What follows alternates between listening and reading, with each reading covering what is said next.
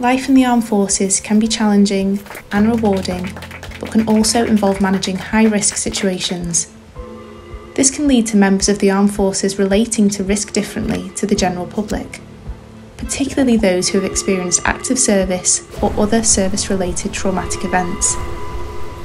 Gambling related harms are emerging as a public health issue in the UK and can have adverse impacts on health and well-being of individuals, families, and society as a whole, with the wider armed forces community being universally accepted as a vulnerable group in this regard.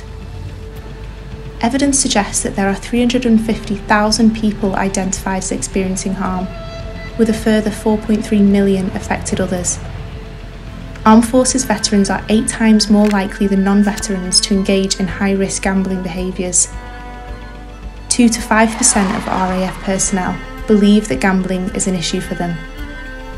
And veterans are eight times more likely than civilians to experience gambling related harms.